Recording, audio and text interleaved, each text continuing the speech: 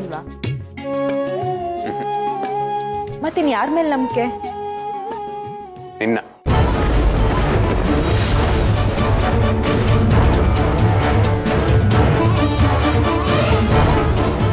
ಏನು?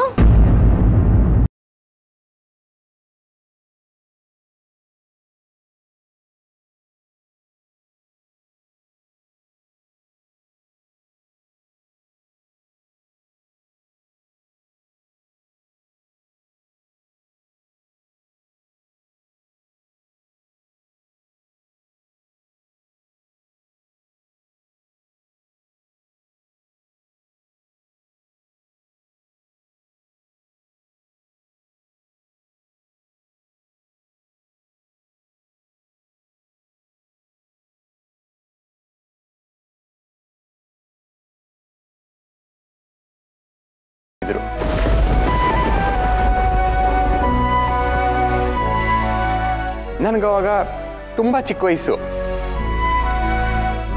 ದಿನ ರಾತ್ರಿ ಅಪ್ಪ ಮನೆಗೆ ಬರದೆ, ನಾನು ಊಟನೇ ಮಾಡ್ತಿರ್ಲಿಲ್ಲ. ಡೈಲಿ ಮಾರ್ನಿಂಗ್ ನಾನು ಅಪ್ಪ ವಾಕಕ್ಕೆ ಹೋಗ್ತಿದ್ವಿ. ಆದರೆ ಒಂದಿನ ಅಪ್ಪ ಇದ್ದಕ್ಕಿದ್ದಾಗೆ ತೀರ್ಕೊಂಡ್ಬಿಟ್ರು ಅದಾದ್ಮೇಲೆ ನನಗೆ ನೈಟ್ ಊಟನೇ ಸೇರ್ತಿರ್ಲಿಲ್ಲ. ದಿನ ಬೆಳಿಗ್ಗೆ ಎದ್ದು ವಾಕ್ಗೆ ರೆಡಿಯಾಗಿರ್ತಿದ್ದೆ. ಅಪ್ಪನ ಕಾಯ್ತಿರ್ತಿದ್ದೆ. ಆದ್ರೆ ಅಪ್ಪ ಬರಲೇ ಇಲ್ಲ.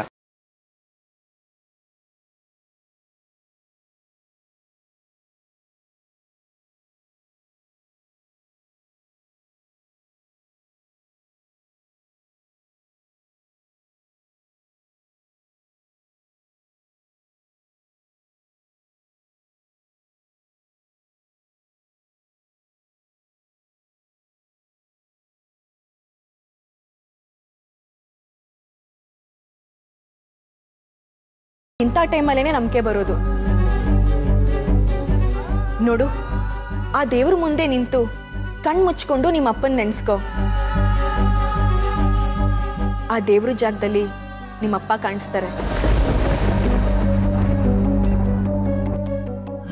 ದೇವ್ರಂದ್ರೆ ಬರೀ ಗುಡಿಲಿರೋ ಮೂರ್ತಿ ಅಷ್ಟೇ ಅಲ್ಲ. ನಾವು ಕಳ್ಕೊಂಡಿರೋ ಎಲ್ರೂ ಪ್ರತಿರೂಪ ಅವರು.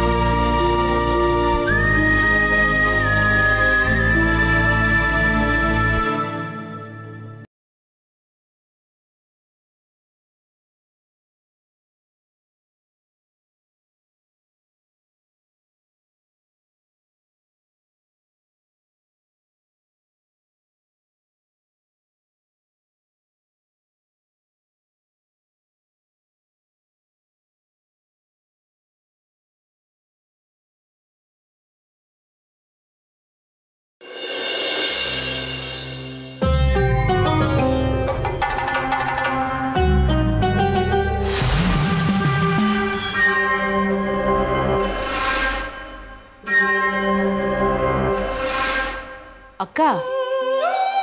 ನಮ್ಗಿದು ಕನ್ಸೋ ನನ್ಸೋ ಒಂದೂ ಗೊತ್ತಾಗ್ತಿಲ್ಲ.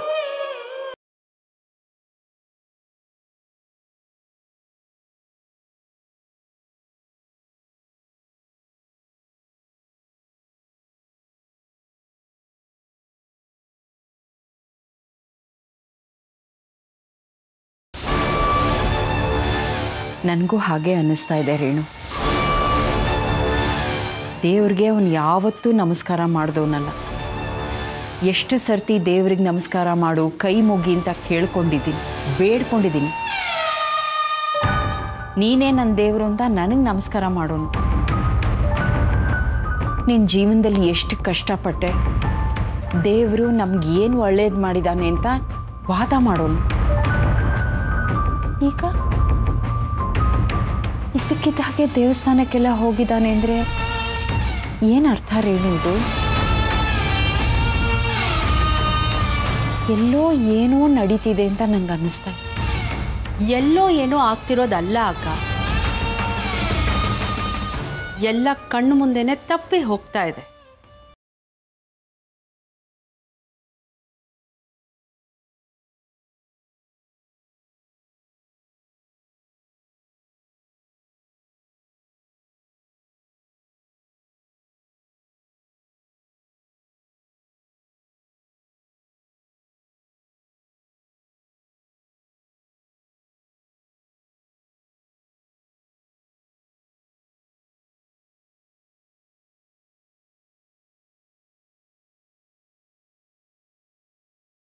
ಇತ್ತೀಚೆಗಂತೂ ಪಾರ್ಥಂಗೆ ಕುಂತ್ರೆ ನಿಂತ್ರೆ ಆ ದರಿದ್ರ ಸುಜಾತ ಅದೇ ಧ್ಯಾನ.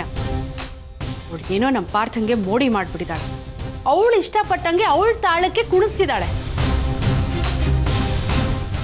ಈಗಲೂ ಅವಳೇ ಪಾರ್ಥನ ದೇವಸ್ಥಾನಕ್ಕೆ ಕರೆದಿರ್ತಾಳೆ. ಇವನು ಗೊಂಬೆ ತರ ಹೋಗಿರ್ತಾನೆ. ಇಷ್ಟೇ ಆಗಿರೋದು. ಶಟಪ್ ರೇಣ ಅವನೇನು ಬಾರ್ಗೆ ಹೋಗಿದ್ದಾನ? ಇಲ್ಲ ಕುದುರೆ ರೇಸ್ಗೆ ಹೋಗಿದ್ದಾನ? ಅವನು ಹೋಗಿರೋದು ದೇವಸ್ಥಾನಕ್ಕೆ. ಅದನ್ನ ಇಟ್ಕೊಂಡು ಇಬ್ರು ಇಷ್ಟೊಂದು ಡೀಪಾಗಿ ಡಿಸ್ಕಷನ್ ಮಾಡ್ತಿರಲ್ಲ. ಇಷ್ಟು ದಿನ ಅವನಿಗೆ ದೇವಸ್ಥಾನಕ್ಕೆ ಹೋಗಬಾರ್ದು ಅನಿಸಿತ್ತು. ಇವತ್ತು ಹೋಗಬೇಕು ಅನಿಸಿದೆ. ಹೋಗಿದ್ದಾನೆ. ದೇವಸ್ಥಾನಕ್ಕೆ ಹೋಗಿದ್ದಾನಲ್ಲ ಅಂತ ಖುಷಿ ಬಿಡಿ ಅದನ್ನು ಬಿಟ್ಟು ಏನೋ ಅದ್ರ ಬಗ್ಗೆ ಗಾಸಿ ವೆರಿ ಬ್ಯಾಡ್ ಆಯಿತು. ಈಗ ಸುಜಾತನೇ ಹೇಳಿದ್ದಾಳೆ ಅಂತ ತಿಳ್ಕೊ. ಅದರಲ್ಲಿ ಏನು ತಪ್ಪು? ಒಳ್ಳೆ ಕೆಲಸ ಮಾಡಿ ಅಂತ ಯಾರು ಹೇಳಿದ್ರು ಅನ್ನೋದು ಮುಖ್ಯ ಅಲ್ಲ. ಆ ಒಳ್ಳೆ ಕೆಲಸ ಮಾಡ್ತಾ ಇದ್ದಾರಲ್ಲ ಅದು ಮುಖ್ಯ. ಹಾಗಲ್ಲ ಅತ್ತೆ. ಇದೊಂದು ವಿಷಯದಲ್ಲಿ ಪಾರ್ಥ ಯಾವತ್ತೂ ನನ್ನ ಮಾತು ಕೇಳಿರಲಿಲ್ಲ. ಆದರೆ ಈಗ ಇವತ್ತು ನಿನ್ನೆ ಪರಿಚಯ ಆದವಳು ಮಾತು ಕೇಳಿಕೊಂಡು ದೇವಸ್ಥಾನಕ್ಕೆ ಹೋಗಿದ್ದಾನೆ ಅಂದರೆ ಅಮ್ಮ ಆದವಳಿಗೆ ಬೇಜಾರಾಗಲ್ವಾ ಅತ್ತೆ? ನೀವೇ ಹೇಳಿ.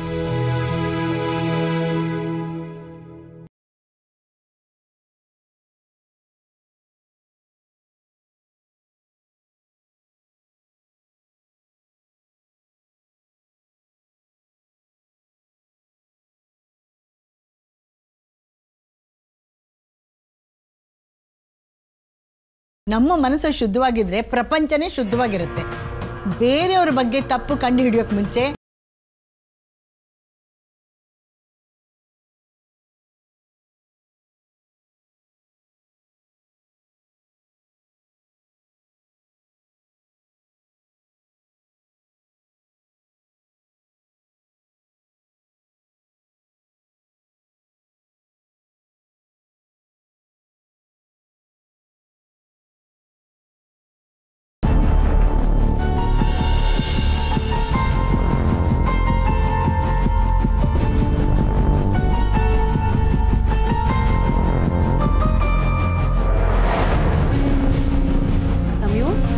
ಯೋಚನೆ ಮಾಡ್ತಿದ್ಯಾ?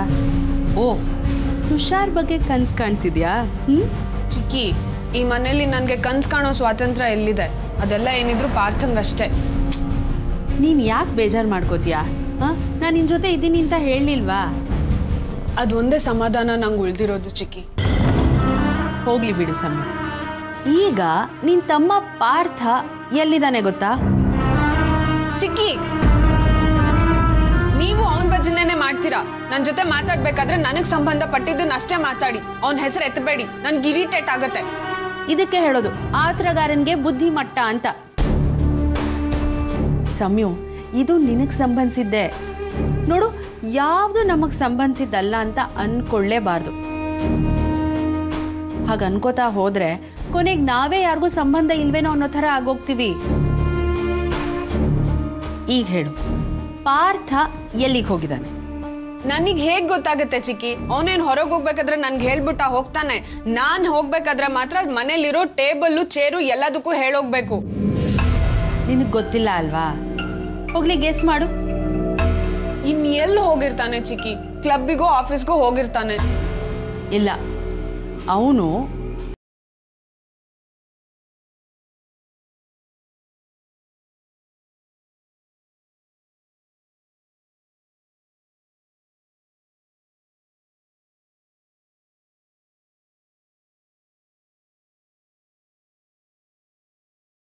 ಏನೇನೋ ಬುಡ್ಡೆ ಬಿಡ್ಬೇಡಿ ಚಿಕ್ಕಿ. ನಾನ್ ಯಾಕೆ ಬುರ್ಡೆ ಬಿಡ್ಲಿ ಸಮಯು ನಾನ್ ನಿಜಾನೇ ಹೇಳ್ತಿದ್ದೀನಿ ಅವ್ನ್ ದೇವಸ್ಥಾನಕ್ಕೆ ಹೋಗಿರೋದು. ಹೌದಾ? ನಿಜವಾಗ್ಲೂ? ಹಾಗಾದ್ರೆ ಅಮ್ಮ ತುಂಬಾ ಖುಷಿ ಪಟ್ಟಿರ್ತಾರೆ. ಪಾಪ ಅವ್ರು ಯಾವಾಗ್ಲೂ ಪಾರ್ಥ ದೇವಸ್ಥಾನಕ್ಕೆ ಬರಲ್ಲ ಅಂತ ಬೇಜಾರ್ ಮಾಡ್ಕೋತಿದ್ರು. ನಿಮ್ಮಮ್ಮ ಖುಷಿಯಾಗಿರೋದಿರ್ಲಿ ಕೊತ ಕೊತ ಅಂತ ಕುದೀತಾ ಇದ್ದಾರೆ ಅಮ್ಮ ಯಾಕೆ ಕುದೀತಾ ಇದ್ದಾರೆ ಚಿಕ್ಕಿ? ಪಾರ್ಥ ದೇವಸ್ಥಾನಕ್ಕೆ ಹೋಗ್ಬೇಕನ್ನೋದು ಅಮ್ಮನ ಇಷ್ಟನೋ ತಾನೆ? ಸಮಯು, ದಡ್ಡಿ ನೀನು. ನಿನಗೆ ಸೂಕ್ಷ್ಮಗಳೇ ಅರ್ಥ ಆಗಲ್ವಲ್ಲ? ಈಗ ನಮ್ಮನೆ ದೇವ್ರು ದಾರಿಲ್ ಹೋಗೋರ್ ಪ್ರಾರ್ಥನೆಗೆ ಪ್ರತ್ಯಕ್ಷ ಆಗಿ ವರ ಕೊಟ್ರೆ ಖುಷಿ ಆಗತ್ತಾ? ದಿನ ಪೂಜೆ ಮಾಡೋರು ನಾವು, ಗಂಟೆ ಹೊಡೆಯೋದು ನಾವು, ಪ್ರಾರ್ಥನೆ ಮಾಡೋರು ನಾವು. ಅಂಥದ್ರಲ್ಲಿ ಬೇರೆಯವ್ರಿಗೆ ವರ ಸಿಕ್ಕರೆ ನಾವು ಖುಷಿ ಪಡ್ಬೇಕಾ ಹೇಳು? ಚಿಕ್ಕಿ, ನೀವು ಡೈರೆಕ್ಟ್ ಆಗಿ ಹೇಳಿದ್ರೇನೆ ನಂಗೇನು ಅರ್ಥ ಆಗಲ್ಲ. ಈ ತರ ಇಂಡೈರೆಕ್ಟ್ ಆಗೆಲ್ಲ ಮಾತಾಡಿದ್ರೆ ಅಷ್ಟೇ. ಸಮಯು ನೀನೇ ನೋಡ್ತಿದ್ಯಾ? ನಿಮ್ಮಮ್ಮ ಪ್ರತಿದಿನ ಪಾರ್ಥನ ಮನೆಯಲ್ಲಿ ಪೂಜೆ ಮಾಡ್ಬೇಕಾದ್ರೆ ಕರೀತಾರೆ. ಬರ್ತಾನ? ಬರಲ್ಲ. ಆದ್ರೆ ಈಗ ಅದ್ ಯಾರೋ ಕರೆದ್ರು ಅಂತ ಅವ್ರ ಜೊತೆ ದೇವಸ್ಥಾನಕ್ಕೆ ಹೋದ್ರೆ ಸಿಟ್ಟು ಬರೋದಿಲ್ವಾ ಹೇಳು? ಚಿಕ್ಕಿ ಅಂದ್ರೆ ಪಾರ್ಥ ಸುಜಾತ ಜೊತೆ ದೇವಸ್ಥಾನಕ್ಕೆ ಹೋಗಿದಾನ ಡೌಟೇ ಇಲ್ಲ.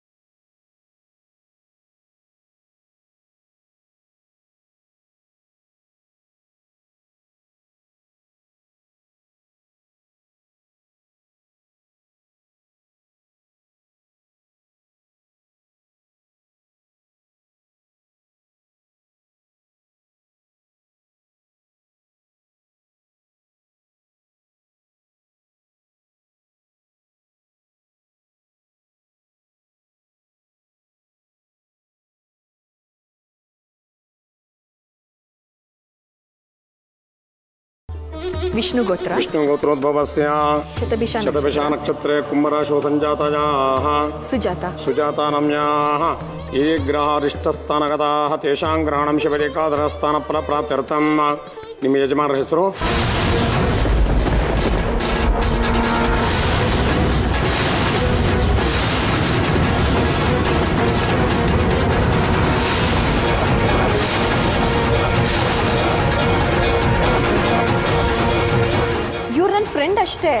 ಹೌದಾ?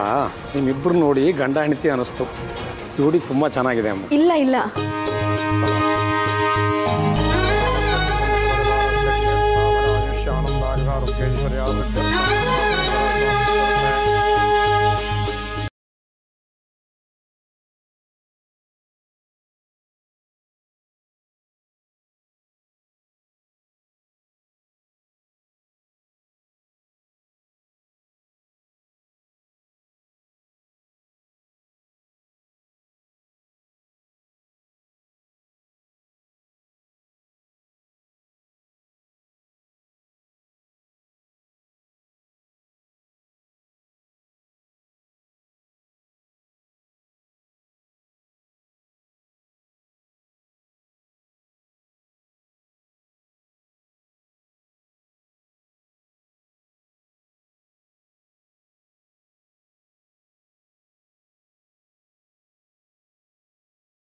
देवतारक्षां शिरसा गृह्णामि अकालमृत्युमथनं सर्वव्याधिनिवारणं सर्वदुरितोपशमनम् अवादेवतापादोदकं पावनं शुभं।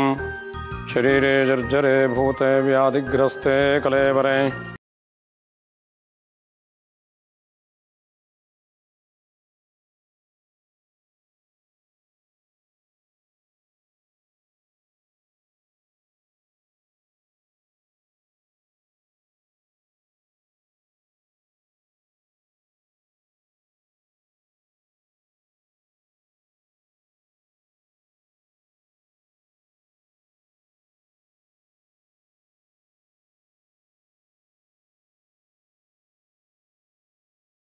ದೇವ್ರಿಗಿರೋದ್ರಲ್ಲಿ ಅಲ್ಪ ಸ್ವಲ್ಪ ಶಕ್ತಿ ಆದ್ರೂ ಇರುತ್ತಾ ಅಂತ.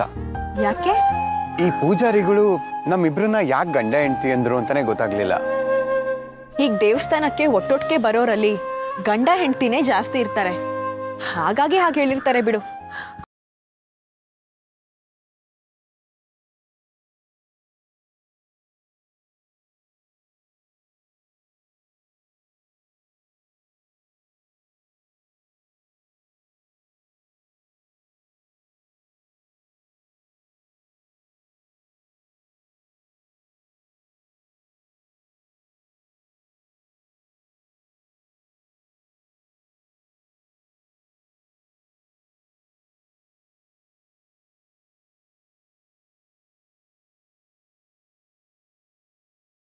ನಿನಗೆ ಯಾವತ್ತೂ ಮತ್ತೆ ಮದುವೆ ಮಾಡ್ಕೋಬೇಕು ಅಂತ ಅನ್ನಿಸ್ಲೇ ಇಲ್ವಾ?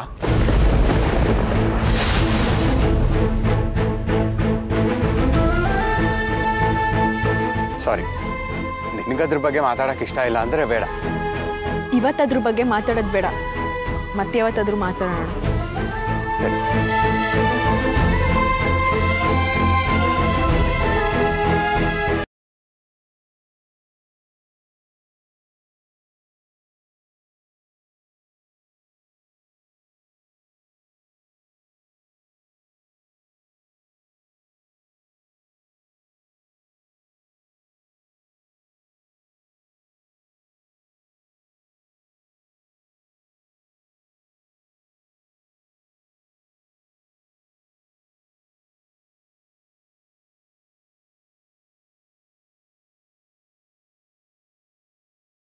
ಚಿಕ್ಕಿ ಚಿಕ್ಕಪ್ಪ ಇಡೀ ದಿನ ಆಫೀಸಲ್ಲೇ ಇರ್ತಾರಲ್ವಾ? ಅವ್ರಿಗೆ ಹೇಗೆ ಈ ವಿಷಯಗಳೆಲ್ಲ ಗೊತ್ತಾಗತ್ತೆ? ಏನ್ ನೀವ್ ನೀವೇ ಮಾತಾಡ್ಕೋತಿರ್ತಾರೋ ವಿಷಯ ಏನು ಅಂತ ಹೇಳ್ತೀರಾ? ರೀ ಇವತ್ತು ಪಾರ್ಥ ಎಲ್ಲಿಗೆ ಹೋಗಿದ್ದ ಹೇಳಿ? ಎಲ್ಲಿಗೆ ಹೋಗಿದ್ದೋ ಗೊತ್ತಿಲ್ಲ. ಆಫೀಸ್ಗಂತೂ ಬಂದಿಲ್ಲ. ಕೆಲಸ ಮಾಡೋದು ನಾವು ಹೆಸರು ಅವನಿಗೆ. ರೀ ನಾನು ಪಾರ್ಥನ್ ಬಗ್ಗೆ ಮಾತಾಡ್ತಿದ್ರೆ ನೀವು ನಿಮ್ಮ ಬಗ್ಗೆ ಮಾತಾಡ್ತಿದ್ದೀರಲ್ಲ? ನನ್ನ ಕಷ್ಟ ನನಗೆ ಗೊತ್ತು. ನನಗೆ ಗೊತ್ತಿಲ್ಲ ಕಣೆ ಅವನು ಎಲ್ಲಿಗೆ ಹೋಗಿದ್ದ ಅಂತ.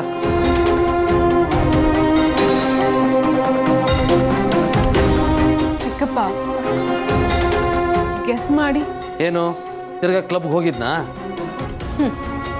ಕ್ಲಬ್ಬಿಗೆ ಹೋಗಿದ್ದಿದ್ರು ಪರವಾಗಿಲ್ಲ. ಆದ್ರೆ ಅವನು ಹೋಗಿದ್ದಿದ್ದು ದೇವಸ್ಥಾನಕ್ಕೆ. ಏನು? ದೇವಸ್ಥಾನಕ್ಕ? ಹ್ಞೂ ಅದಕ್ಕೆ ಅಕ್ಕ ಅಷ್ಟು ಯೋಚನೆ ಮಾಡ್ತಿರೋದು. ಅಲ್ಲ ಇಷ್ಟು ವರ್ಷದಿಂದ ದೇವರ ಮನೆ ಕಡೆ ತಿರುಗಿ ಮಲಗದೆ ಇರೋನು ಇವತ್ತಿದ್ದಕ್ಕಿದ ಹಾಗೆ ದೇವಸ್ಥಾನಕ್ಕೆ ಹೋಗಿದ್ದಾನೆ ಅಂದ್ರೆ ಏನ್ ಕಾರಣ ಇರ್ಬೋದು? ಹೋದ್ರೆ ಹೋಗ್ಲಿ ಬಿಡೆ. ಅದ್ಯಾವ ದೊಡ್ಡ ವಿಷಯ ಅಂತ ಇಶ್ಯೂ ಮಾಡ್ತಾ ಇದ್ದೀರಾ? ಚಿಕ್ಕಪ್ಪ ನನ್ಗೆ ಯಾಕೋ ಡೌಟು ಆ ಸುಜಾತ ಅವನನ್ನ ಕರ್ಕೊಂಡು ಹೋಗಿದ್ದಾಳ ಅಂತ. ಓಹೋ.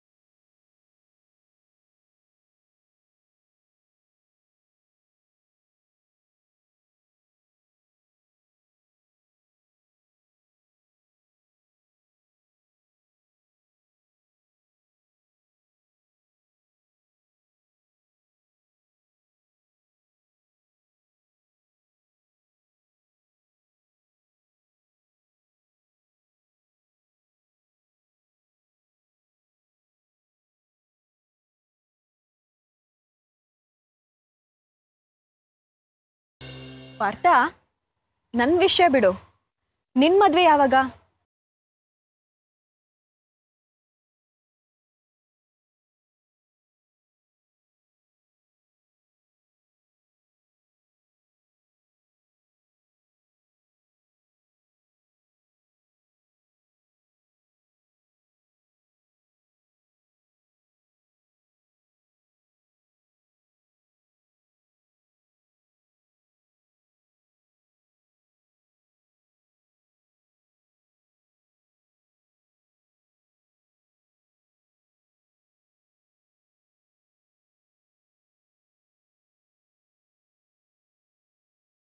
ಬೇಕು ಒಪ್ಕೋಬೇಕು ಅದಕ್ಕೆಲ್ಲ ತುಂಬಾ ಟೈಮ್ ಇದೆ.